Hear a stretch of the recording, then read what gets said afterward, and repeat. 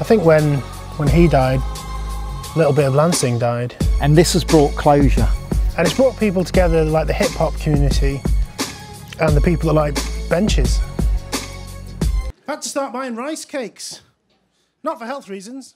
Just got sick of eating butter with my hands.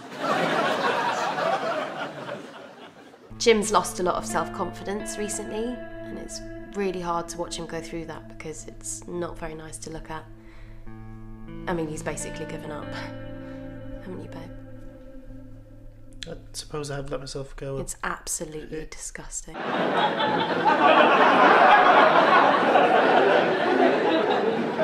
hope you've not forgotten about us now you've got your new London friends. Whenever I need to remind myself that I'm loved, I post pictures of my ass on Instagram to get likes from fit boys. You deserve to be loved by the whole world for your ass. I'd like to think that Tupac is looking down right now at us from thug heaven. Probably hell, really. He was up for sexual assault, wasn't he? But just look at no, but like sultry. Oh yes, oh yes, beautiful. Put your toe in the lens. That's it.